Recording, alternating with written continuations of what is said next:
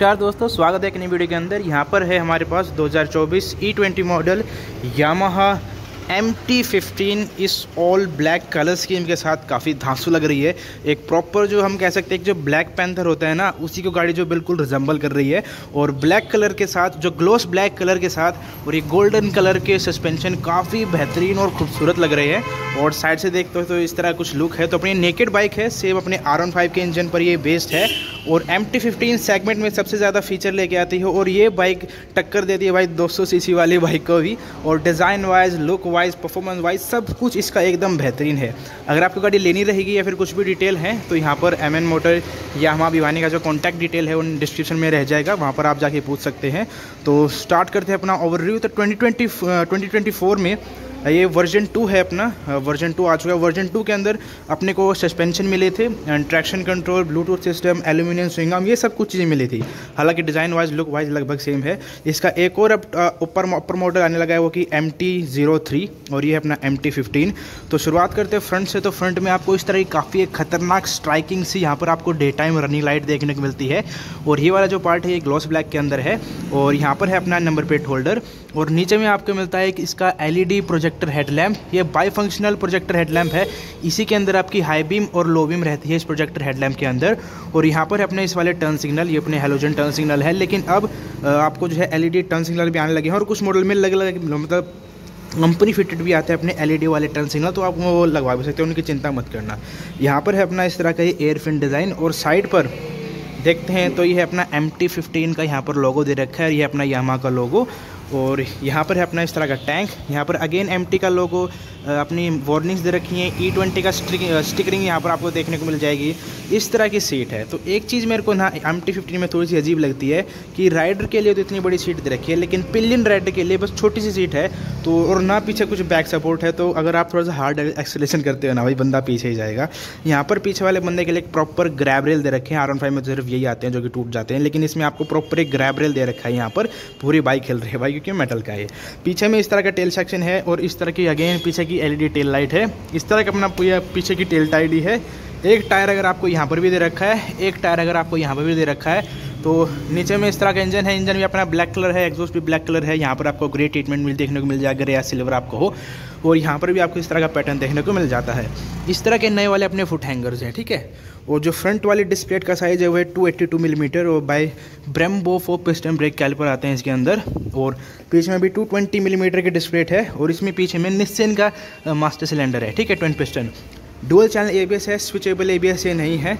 और suspension wise देखें तो यहाँ पर आपको फ्रंट में थर्टी सेवन मिलीमीटर के और के वाई भी सस्पेंशन देखने को मिलते हैं। Upside down suspension golden colour के। अब कुछ मॉडल में गोल्डन हटा के ना ब्लैक भी देने लगे हैं। आर एन फाइव में तो आने लगा M T fifteen M T fifteen का मेरे को पता नहीं है। और पीछे में है एक link type suspension monoshock suspension इसकी एक अच्छी चीज़ तो अच्छी चीज़ तो नहीं है, लेकिन ये है ना कि ये भाई अपनी एडजस्ट नहीं हो सकता अपना प्री लोड या सस्पेंशन जो कंपनी से आपको एडजस्टेबिलिटी मिलेगी, वही है। और यहाँ पर है इसका ये लिंक दे रखा है ना तो इस वजह से लिंक टाइप सस्पेंशन है।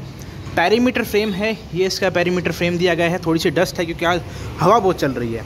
नीचे में यहाँ पर एम टी है और मेरे हिसाब से ना यहाँ पर कोई भी लेग गार्ड कंपनी की तरफ़ से आते नहीं, जो कि मोस्टली बाइक में वेरी नेकेड में तो आते हैं, लेकिन एम टी में आते ही नहीं है।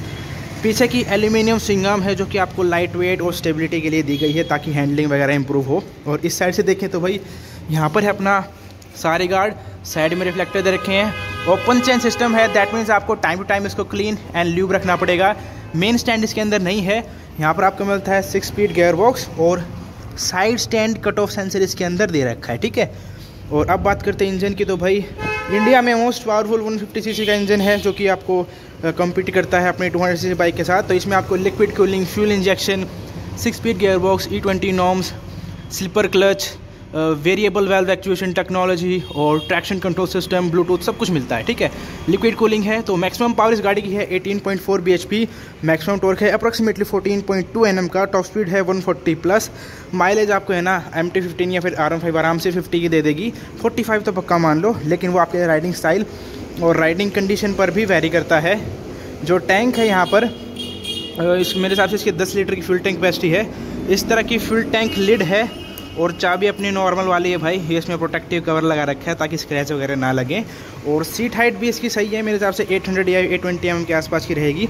गाड़ी काफ़ी लाइट वेट है, और मेरे हिसाब से जस्ट 136 किलोग्राम इसका वेट है, और मेरे हिसाब से ड्राई वेट है, थोड़ा सा फ्लूड्स और पेट्रोल के साथ थोड़ा सा बढ़ जाएगा, लेकिन फिर भी काफ़ी लाइट वेट गाड़ी है, ये मतलब निकल के आती है। और ग्राउंड क्लियंस भाई वन मिलीमीटर का इसके अंदर आपको ग्राउंड क्लियंस देखने को मिल जाता है। फ्रंट में रियर में आपको 17 इंचेस के अलॉय देखने को मिल जाते हैं। कुछ बाइकों में कलर आते हैं, ये पूरा ऑल ब्लैक वर्जन आपको देखने को मिल रहा है, और फ्रंट में और रियर में। रियर में यहाँ मिलता है आपको 140 मिलीमीटर mm का टायर एमआरएफ के हैं ये, और फ्रंट में मिलता है 100 मिलीमीटर mm का टायर और ये ट्यूबलेस टायर आपको इसके अंदर देखने को मिल जाते हैं, इस टाइप का मडगार्ड इसके अंदर दे रखा है।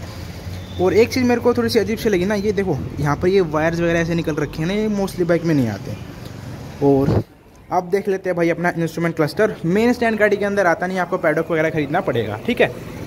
तो ये है अपना इस तरह का इंस्ट्रूमेंट क्लस्टर चाबी लगती है अपनी यहाँ पर। इस तरह का ये अपना स्लिपर क्लच है, काफ़ी लाइट है। इस तरह के मिरर्स दे रखे हैं इसके अंदर।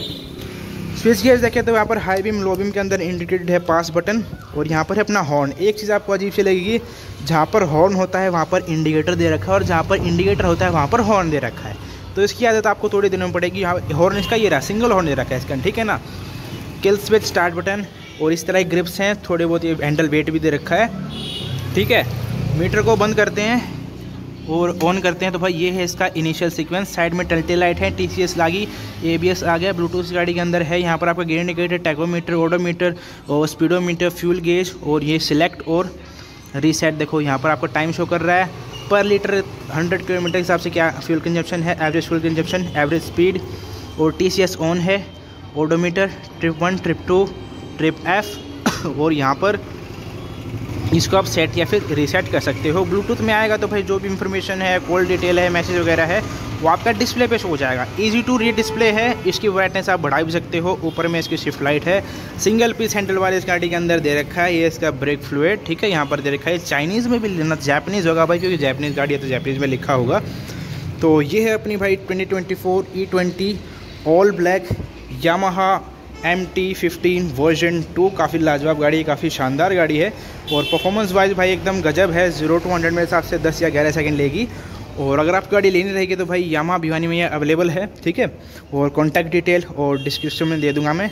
एड्रेस डिटेल वगैरह सब कुछ आपको मिल जाएँगी। अगर आपको वीडियो अच्छा लगा तो भाई लाइक करना शेयर करना अपना फीडबैक आपको वीडियो कैसी लगी। और मिलते हैं अगली वीडियो में। Till then bye take care और हाँ भाई सब्सक्राइब ज़रूर से किया करो।